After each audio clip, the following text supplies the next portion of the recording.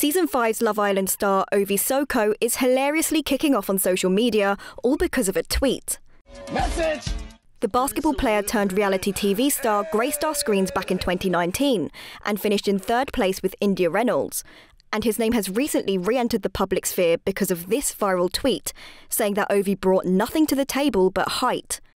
Ovie clapped back with this hilarious video response. Esther, baby, what did I do? I woke up this morning, I checked Twitter, and I see your tweet. I didn't even earn that one. That's such an unnecessary stray. Damn, what did I do to you? Huh?